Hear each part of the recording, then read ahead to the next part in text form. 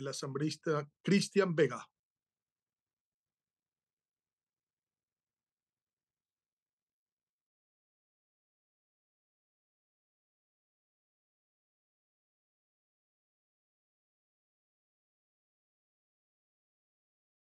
Gracias, señor presidente. Gracias por eh, el espacio, queridos compañeros asambleístas. La ratificación por parte del Ejecutivo no es otra cosa que lo que se esperaba en términos de que es la potestad que él tiene.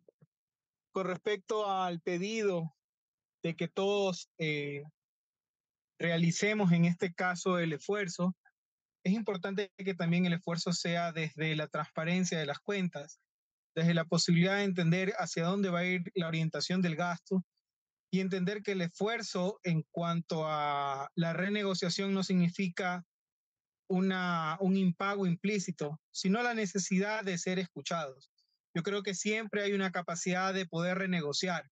Así como desde la Asamblea se ha pedido y se ha celebrado poder hacer una renegociación con los deudores del SRI, poder hacer una renegociación con quienes estaban glosados por parte de Contraloría General del Estado.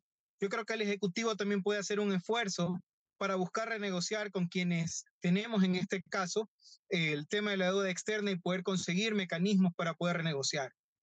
Hemos hablado de que el diálogo es el camino y es el que tiende puentes para mejorar las situaciones actuales. Creo que también el Ejecutivo lo puede hacer. El llamado de la Asamblea con esta negativa al presupuesto es exhortarlo a que siempre hay mecanismos que también no solo hay que pedirle a los ecuatorianos, sino también por parte del Ejecutivo los puede aplicar con los organismos bilaterales. Eso, querido presidente. Gracias.